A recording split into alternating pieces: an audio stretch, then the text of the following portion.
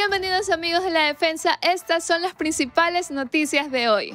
Faltar a clases y que pase lo impensable. Esta mañana un expreso se estrelló contra una baranda del puente de la Unidad Nacional en sentido Durán-La Puntilla. El conductor huyó y desde el EQ 911 notificaron que hay dos personas heridas. Que se gasta el papel dicen por ahí. El CNE aprobó la unificación de dos procesos electorales para las elecciones 2023.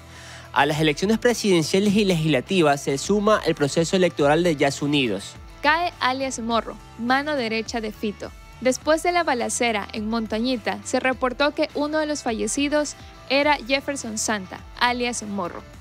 Seis personas heridas están en el hospital de Santa Elena, que actualmente se encuentra cercado policialmente igual que el centro forense.